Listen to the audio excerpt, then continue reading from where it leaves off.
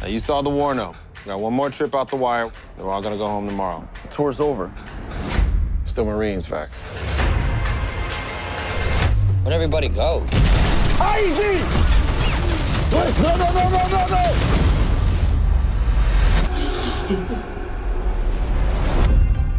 It's not easy what you've been through.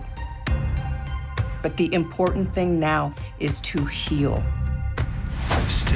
What the hell is this world gonna want from me now? Have you ever been fly fishing? Fly fishing. I think it could be good for you. Go there. Ike Fletcher, right? This is going to be good. It ain't easy. Takes practice. Do your recon. If you want to tap out, be my guest. You've taken to it pretty hard. Yeah, I like it. Got it. That's a bit of a thing around here. I've noticed a few things around here. I know the feeling. I lost my fiance.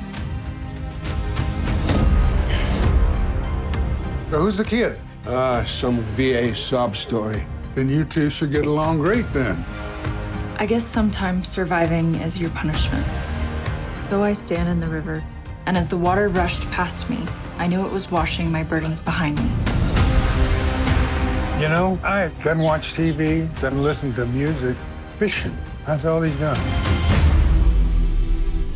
Does it ever get any easier? Nope. But this, this is the place for me.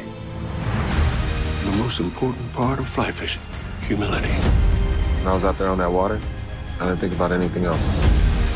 You went to war, you survived.